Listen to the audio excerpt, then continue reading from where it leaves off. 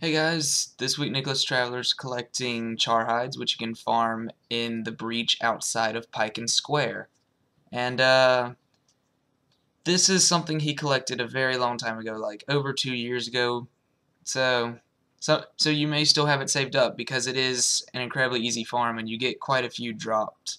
Uh, however, the Charr do uh, drop Charr carvings a lot more often, but you'll want to save those uh, anyway because he'll collect those again eventually. And since the collections are randomized, it could be sometime really soon. So, always good to keep those on hand. Uh, the Charr hides don't drop as much as uh, you would think they would because each of the Charr have their own uh, special armor type armor thing that they can drop depending on what their profession is. Uh, so the Charr hide armor uh, doesn't drop as often as it normally would because of that. Uh, because in Prophecies they had a bunch of uh, different types of armor and things that enemies could drop.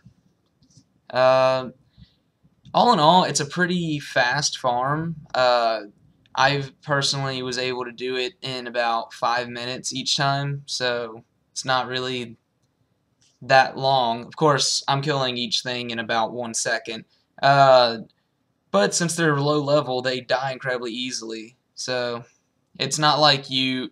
And also, it's not like you need to go out of your way to bring, like, a lot of healing skills.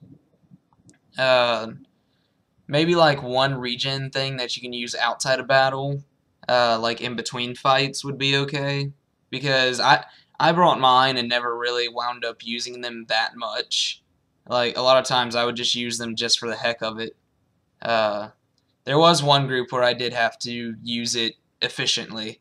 Uh, nothing blocks, nothing really does a lot of damage, so it's not like each profession is more dangerous. The rangers uh, can be kind of annoying because of uh, Kindle arrows, but that's like not a really big concern. It's the biggest concern, but since it's such a small concern, that should tell you how easy everything else is.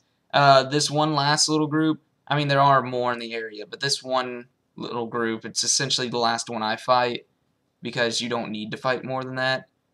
Uh, yeah, it's kind of grouped up, so it could take a while to uh, kill them, and maybe you'll have to use your healing skill.